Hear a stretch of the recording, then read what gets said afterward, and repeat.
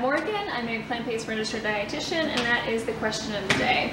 So, yes you can is the quick answer. Um, but just so you know, there's a couple different ways to go about doing it, and I'm going to explain my, why you might want to use one versus the other. So I actually had this in the freezer, which is why it's not falling out, is because it's still frozen. Um, so this is actually cooked butternut squash that I roasted and I just couldn't eat in time and so I froze it. So what I really love using this for, it's already cooked, it's already seasoned with some salt and pepper and olive oil. When I eventually use this, which isn't going to be today, but eventually I'm going to unthaw it and blend it into a butternut squash soup is one option.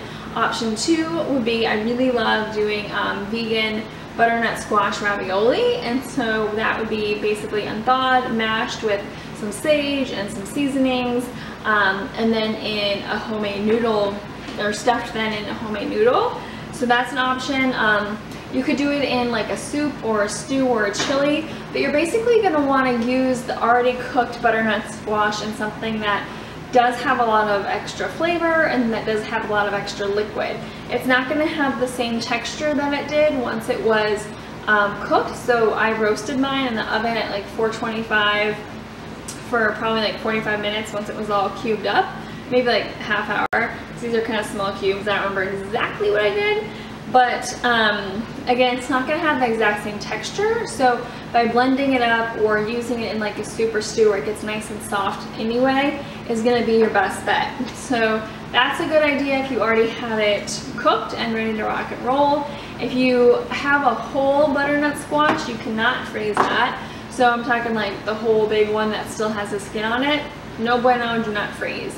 You can though um, cut it up, you know, take the skin off, take the seeds out, and then you can do a couple different things. You can blanch it really fast for a couple minutes. So that would be, blanching would be in a big pot of boiling water that's salted.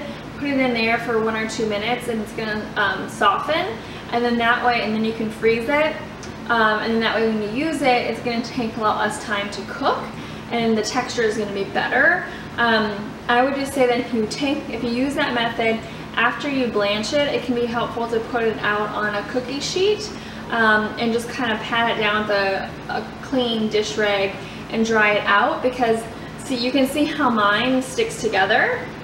If you freeze it um, and everything is nice and dry, it'll crumble apart and then you don't, it'll be easy to use um, for if you want, like for example, if you just want like a little bit of this, if you pat it out on the cookie sheet first, and then put it in a container. They're not going to stick together and it's way easier to use just a little bit. Um, versus this, I'm kind of stuck by using the whole thing. So just keep that in mind. Um, so you can blanch it once it's cubed and cut. You can also then put it in the microwave instead of blanching for a few minutes once it's um, the skin is off and you've taken the seeds out and it's cubed or sliced, however you're preferring to store it and cook with it. Um, I prefer the blanching or the already cooked, I will say, versus raw or putting in the microwave for a little bit. So you can freeze it. Um, you just don't want to freeze the whole vegetable as is. I personally feel like it works best if it's already cooked and you just freeze the leftovers and then use it again for like a soup, a stew, a chili, um, or the filling of some butternut squash ravioli, which sounds amazing right about now. Uh, maybe that's what I'll make with mine. But I hope you found that helpful. Like it if so, and question below with anything that you're wondering about. Uh, be sure to subscribe and catch a new video every week. And until next time, keep it kind. I'm gonna pop this back in the freezer. Or should I make some butternut squash ravioli? That is a good question. See you soon.